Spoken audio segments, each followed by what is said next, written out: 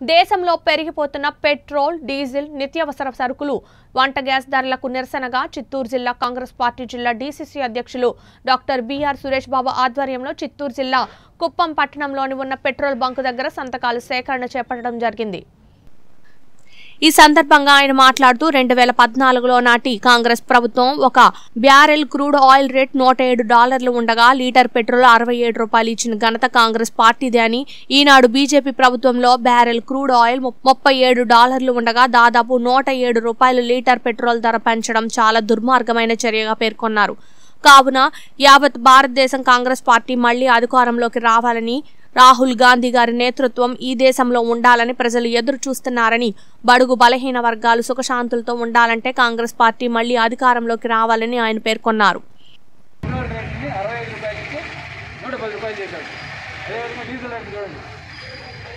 యాభై ఐదు రూపాయలు ఉంది కాంగ్రెస్ పార్టీ అధికారంలో రా- ఆఖరికున్నప్పుడు ఈరోజు ఇదే డీజిల్ రేటు నూట రెండు రూపాయలు. అయింది అంటే దాదాపు డబుల్ రేట్ అవుతా ఉంది. మోడీ గారికి ఐదు సంవత్సరాలు అవకాశం ఇచ్చినందుకు మన జీవితాలన్నింటినీ అన్ని విధాలుగా కూడా ఆయన డబ్బులు చేసేస్తున్నాడు. పెట్రోల్ రేట్ డబ్బులు డీజిల్ రేట్ డబ్బులు గ్యాస్ రేట్ డబ్బులు పప్పు రేట్లు ట్రిపులు షుగర్ రేట్లు ట్రిపులు షుగర్ ఫుడ్ రేట్ అయితే నాలుగు రెట్లు పెరుగుతూ ఇంత దారుణమైన ప్రభుత్వాన్ని ప్రపంచంలో ఏ దేశము చూడలేదు.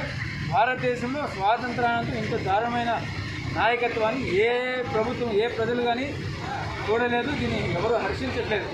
చాలా దారుణం. కాంగ్రెస్ పార్టీ దీన్ని తీవ్రంగా ఖండిస్తూ ఉంది.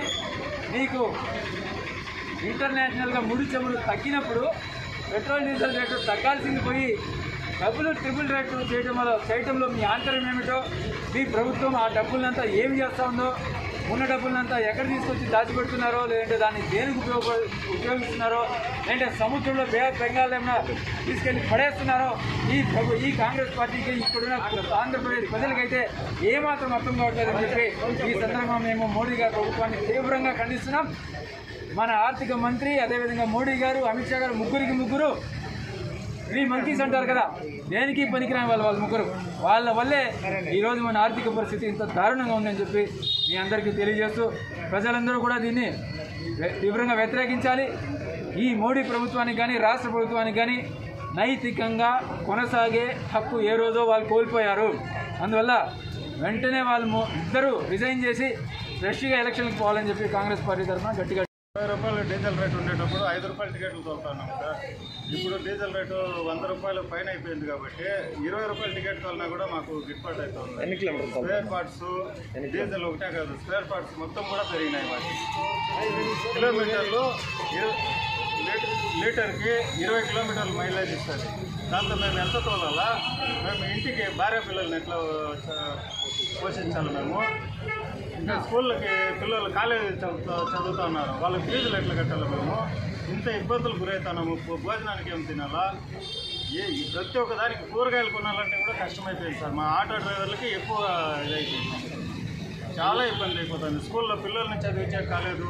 ప్రతి ఒక్కటి ఇబ్బంది. ఫ్యామిలీ మొత్తం టోటల్ పూర్ ఫ్యామిలీలు మాది. పూర్ ఫ్యామిలీ కాబట్టి ఆటోలు తెచ్చి రోడ్డు మీద తోలుకుంటాను ఇంత ఇబ్బంది పెడతా ఉన్నారు. ఇంత ఏ- అధికారంలో ఉన్న వాళ్ళు కానీ అపోజిషన్ ఎవరు పట్టించుకుంటారు? ఈ కుప్పం ఎమ్మెల్యే కూడా. ఇప్పుడు మీకు ఇట్లా పెరిగిపోవడం వల్ల కస్టమర్ దగ్గర మీకు ఏమైనా అంటే వాళ్ళు కస్టమర్లు అంటే వాళ్ళు కూడా ఈ కోవిడ్ వల్ల వాళ్ళు కూడా ఇబ్బందులు గురవుతున్నారు సంపాదన లేకుండా. వాళ్ళ కూడా మేము బాడుగ అడిగినా కానీ టికెట్లు మేము ఇప్పుడు ఉండే పరిస్థితుల్లో టికెట్లు అని వాళ్ళకి ఇచ్చేకి ఈ ఇవ్వాలంటే బాధగానే ఉంది. మేము అడగాలన్నా బాధగానే ఉంది. వాళ్ళు పేదోళ్ళే ఆటో ఎక్కడికి వస్తున్నారు ఎక్కువ మంది.